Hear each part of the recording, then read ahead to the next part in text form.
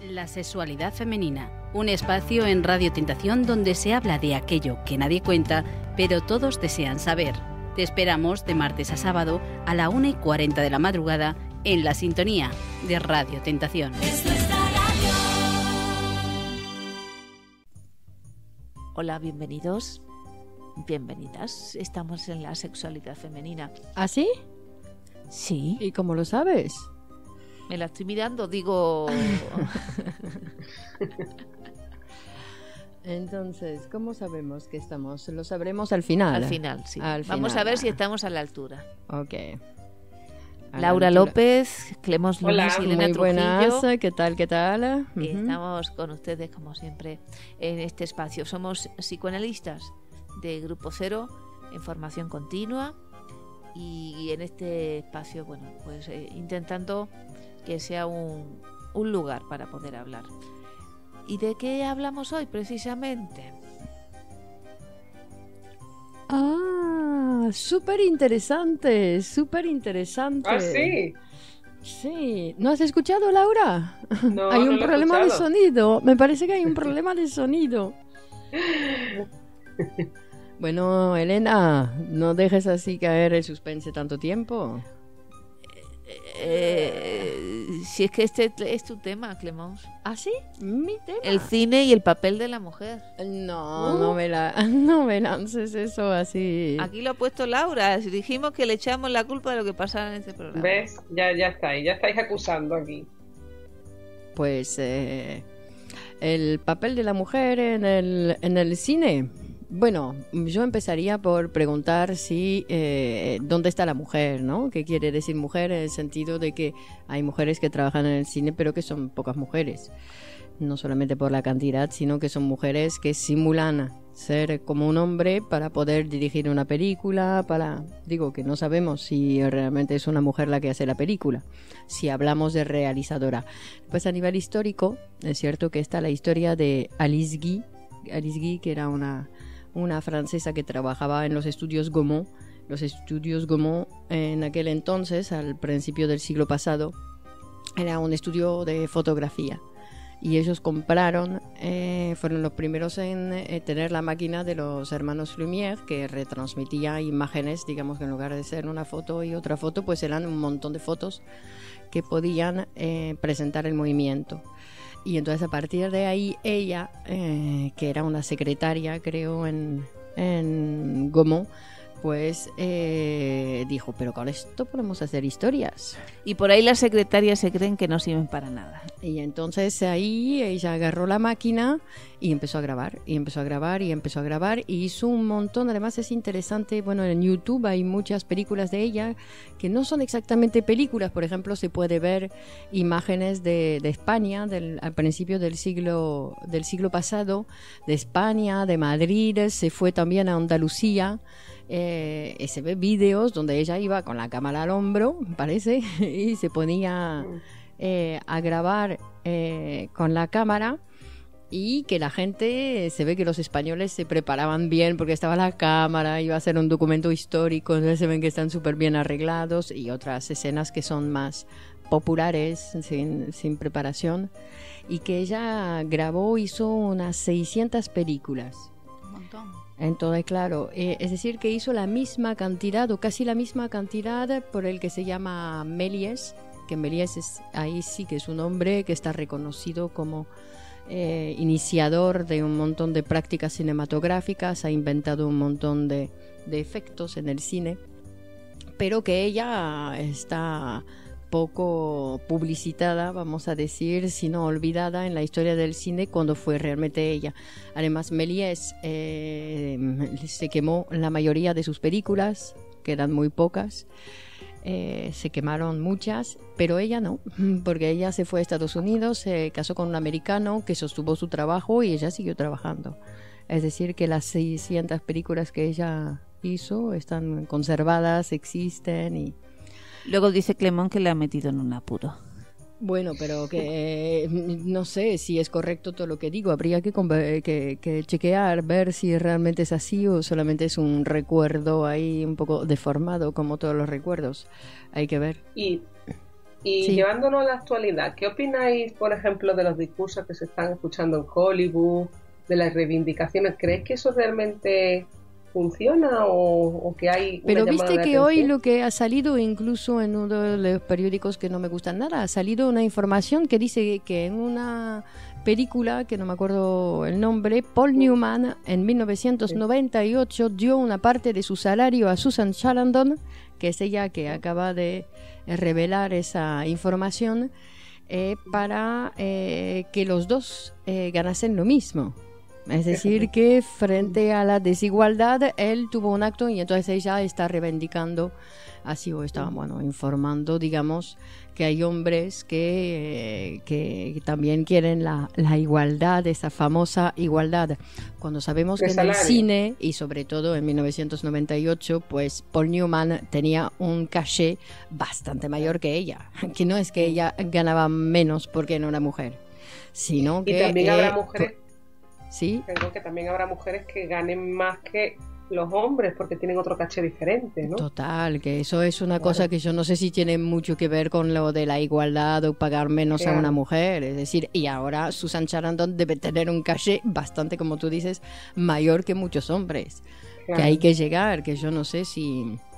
a que, pero bueno, eh, es para contrarrestar un poco lo que decías antes, ¿no? Que dicen que hay mujeres, muchas mujeres que están denunciando, eh, digamos, actitudes que a ellas no les parece convenientes de, de ciertos hombres, que incluso no se sabe a algunos cómo les están machacando. eh, por no haber sabido responder frente a la posición del hombre que le mete mano, que le hace un piropo, que le dice algo, ella no responde y ahora lo denuncia. Es rarísimo. ¿No? Digo, pero bueno, vemos que Susan Chalandón ha tomado otra, otra actitud, sino que ha Mm. subrayado la acción de un hombre eh, totalmente diferente y eso para... No vamos a hacer la guerra con los hombres, por favor. Ya hay bastantes Mm. guerras. Por la economía, que parece que el petróleo y todas esas cosas, ¿no? Que tienen eh, un valor impresionante en cuanto a la diferencia de los sexos. No.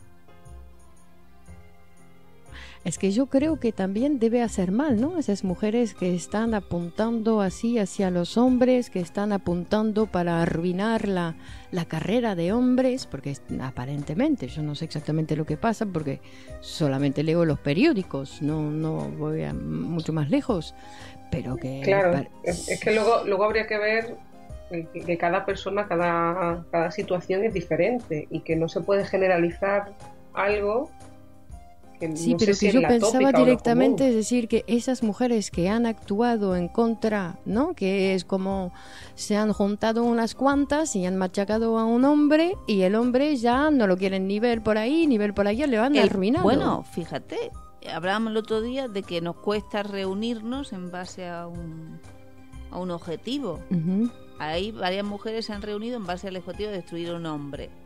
Es un objetivo muy. Sí, pero corto. ¿cómo van a salir? Es decir, que yo me digo, si nosotras hacemos eso, como después tenemos repercusiones, es decir, psíquicas, repercusiones, es decir, tanta maldad, ¿no? Pero como los gobernantes que están, ¿no? Lanzando guerras por ahí, que tampoco van a estar... Que no van a conseguir nada, destruir a ese hombre, pero hay otros hombres, que no es esa la lucha. La lucha es que la mujer deje de ser un objeto, pero ella quiere dejar de ser un objeto. No lo sabemos por eso. Quiere ser un objeto respetado. ¿No? Un objeto que dice, no me toques, soy una porcelana, eh, eh, una porcelana en el stand de la Pero estantería. y cómprame no. el collar de diamantes. Exacto. No, que somos un poco raras, somos realmente raras. Y... No, digo, cuando nos colocamos como objetos son... Pero bueno, algo... El psicoanálisis nos hace bien, eso es cierto. Nos da un pequeño tirón de oreja y dice, señorita, deje de pensar en lo que le falta y empieza a trabajar un poquito. A mí me lo dice y, y- y yo Y trabajo. sufro mucho y tengo que trabajar. Así que... Elena se pone a trabajar. Muy bien, Elena. Bueno, eh, nos pueden consultar en la sexualidad femenina radio arroba gmail.com, la sexualidad femenina radio arroba gmail.com. Elena, tenemos otra consulta que nos ha llegado de Guillermo. Sí, Guillermo nos ha escrito, no es un niño, no sé por qué pongo esta voz de niño. Guillermo, hola, soy Guillermo. Escucho su programa con mucho interés y quiero mm, contestarles a una pregunta que ustedes me hicieron el otro día, aunque no sabían que me la hacían. Guillermo, ¿por qué eres tan egoísta y siempre piensas en tu placer? Y yo me pregunté, mm, ¿es verdad? Porque siempre pienso en mi placer y el placer para qué sirve si luego hay que volver a empezar. Y Guillermo nos explica eso que ¿Por qué esa ocupación en las ocuparse del placer cuando estas chicas aquí, estas mujeres, estas psicoanalistas nos están diciendo que el verdadero camino humano es el trabajo, es aquello que se separa de, nuestra satisfacción más básica y se pone en el mundo? ¿Por qué, uno vive engañado con eso? Bueno, ah, que se deja tentar por el principio de placer, ¿no? Porque uno se deja tentar principio de placer. Pero, pero es como los niños, ¿no? En la evolución psicosexual. Que es, eh, tiene que renunciar a, a esas funciones, esos instintos, eso, ese principio de placer más básico, en pos de perder el amor de, de los papás, ¿no? Ahí va renunciando y, y va estableciendo un goce, pues que aunque tenga que esperar, sabe que va a ser mayor pero claro, eso, si no hace un trabajo psicoanalítico, es, que es, muy difícil, porque, porque es como una maduración, pero en un plano inconsciente, no algo que uno vaya a aprender desde fuera, sino que necesita de, bueno, de, una conversación con un psicoanalista, ¿no? Unos pactos y en un determinado lugar para, para, bueno, para poder sustituir un goce por otro. El otro día leía... las cosas así muy fáciles, pero es algo más complejo. Leía el texto de sobre psicoterapia de Sigmund Freud que, que indica, por un lado, que los, médicos de la época y, hoy en día sigue pasando lo mismo, a veces mm, valoran así muy a la ligera como el proceso psicoterapéutico, que como si fuera solo unas pocas palabras que uno dice, escuchar un poco al paciente y eso ya le hace bien, ¿no? Como, como si no fuera un riguroso método científico y una formación muy exigente en el profesional. Y indicaba en ese texto, pues, que el psicoanálisis no está hecho para todo el mundo, es decir, que, que el paciente, la persona que se quiera psicoanalizar, también tiene que reunir unos requisitos, es decir, que va a ser un, trabajo para él, que tiene que desear eh, ese trabajo y ese cambio, que los beneficios son secundarios, eso de, de, la cura, de curarme de estos síntomas que tengo, eso es un beneficio extraordinario, no es el objetivo principal. El objetivo principal del psicoanálisis o el efecto principal va a ser que va a restablecer la energía psíquica que se ha puesto en, esa, ¿no? en muchas personas en fantasías, que se ha apartado de la realidad, que se ha ocupado de ese placer, como tú dices, Laura, que era un proceso infantil, inmediato, buscar lo inmediato, buscar eh, eso que, que, es más eh, principiante para uno, pero que seguir avanzando en el desarrollo como persona va a tener la exigencia de separarnos de nosotros mismos, de esas exigencias de la vida, donde tenemos que poner nuestra energía en proyectos, en relaciones, en que parece que, que no obtenemos satisfacción, pero es que es una satisfacción que, que requiere un tiempo para conseguirse, que el resultado va a venir después, que ya no nos tiene que interesar tanto el resultado porque el beneficio en sí va a ser el uso de esa energía psíquica en el exterior, en la realidad, en el amor a los otros. Entonces eh, me pareció interesante reflexión, porque a veces el paciente, entre comillas, que dice ser paciente, lo que viene es, hágamelo usted doctor que yo quiero hacer esto, pero con una actitud pasiva y sin estar dispuesto a hacer nada para tener otra visión de la vida. quiero ser el mismo pero sin esto. Y eso pues no, no puede ser. Es un paciente que no puede ser paciente. Uno tiene que decir, tengo que abandonar lo que soy para ser otra persona, para ser otros pensamientos, para leerme otros libros, para tener otros amores. Y si no estoy dispuesto a eso, ¿cómo voy a psicoanalizarme? Soy un ser hermético que solo quiero que usted me quite esta cosita que me molesta.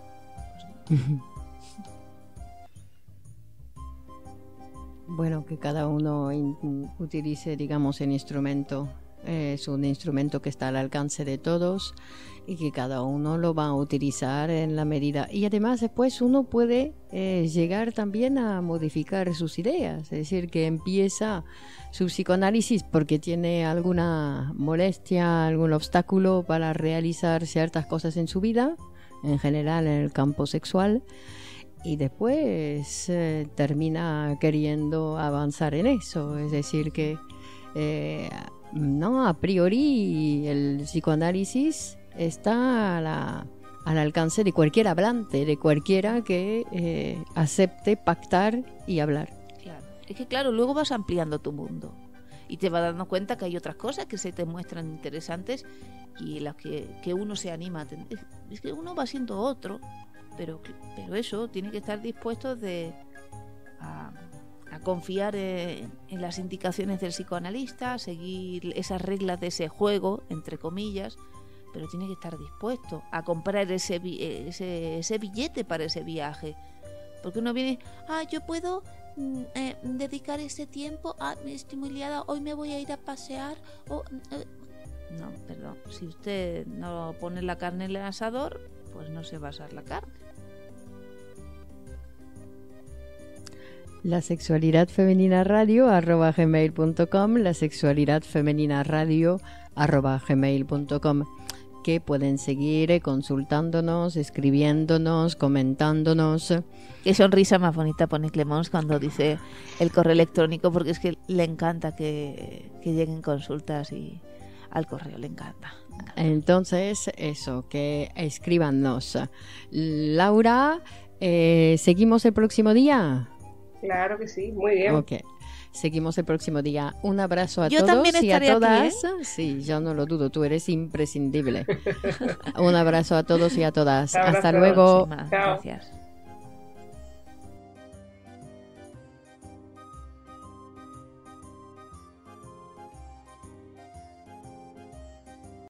La sexualidad femenina, un espacio en Radio Tentación donde se habla de aquello que nadie cuenta pero todos desean saber. Te esperamos de martes a sábado a la 1 y 40 de la madrugada en la sintonía de Radio Tentación.